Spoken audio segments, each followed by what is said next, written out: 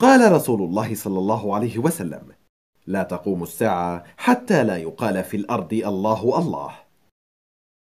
فنحن اليوم ابتعدنا عن ديننا فأضلنا الله وأصبحنا لا نفكر بالدين بل جعلناه عائق وأنه سبب ليجعلنا متخلفين. بل أصبحنا نستحي من أن نذكر الله أمام الناس خوفا من أن يقولوا عنا متخلفين. نعم أصبح المؤمن متخلفا والعاصي وأهل الضلال هم المتحضرون. الذين لا ينبغي أن نتكلم عنهم هم فقط من يستطيعون التكلم عن المؤمنين والاستهزاء بهم.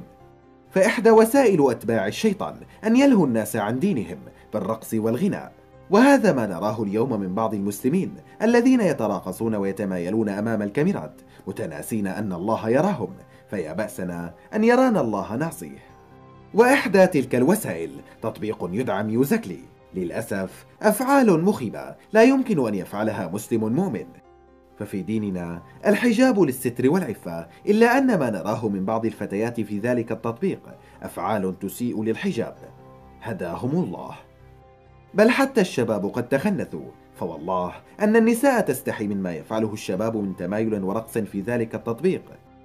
قال رسول الله صلى الله عليه وسلم لا يكونن من أمتي قوم يستحلون الحر والحرير والخمر والمعازف. فننصحكم بالعودة إلى الله عز وجل فوالله إن الإسلام لا يموت بل تموت قلوبكم ويبقى الإسلام فإن ذلك التطبيق نجح في إغوائكم ونزع العفة من النساء والرجولة من الشباب.